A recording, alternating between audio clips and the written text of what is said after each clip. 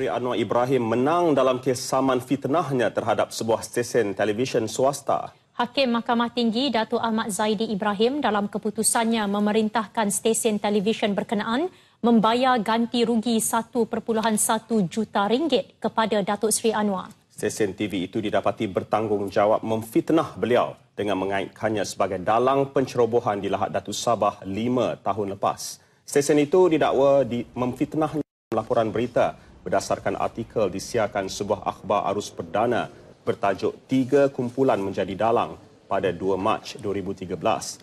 Datuk Ahmad Zaidi memerintahkan ganti rugi am sebanyak RM600,000 dan masing-masing RM250,000 bagi ganti rugi teruk dan teladan serta kos RM40,000.